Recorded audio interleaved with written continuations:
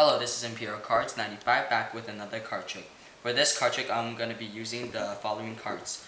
Ace of Spades, Ace of Clubs, King of Diamonds, and King of Hearts. Now, I'm just going to shuffle these cards.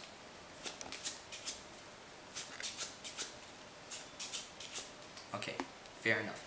Alright, so um, if I, if you had to guess, um, what would you think this card would be? I don't know, the um, ace, an ace? Well, it's a king. Okay, gotta place that king right over there. Now, the bottom, we also have a king. As you can see, right over here. So we're gonna take that, and you're gonna hold on to that too. Now with these two cards, I'm gonna wave it over the cards. And watch. The kings magically transferred to my hands, and what you're holding are. That's a card trick. Um, I'm not sure what it's called, but um, please comment, rate, and subscribe. Thanks.